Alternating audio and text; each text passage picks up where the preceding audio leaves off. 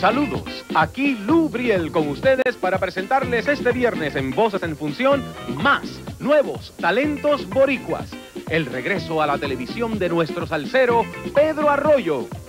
Como siempre, el guitarrista de los dedos mágicos Roberto Rivera y la esplendorosa pareja de baile de Marcelino Alcalá y Coco Rosa. Este viernes por TV3 y TV6 a las 10 de la noche, Voces en Función.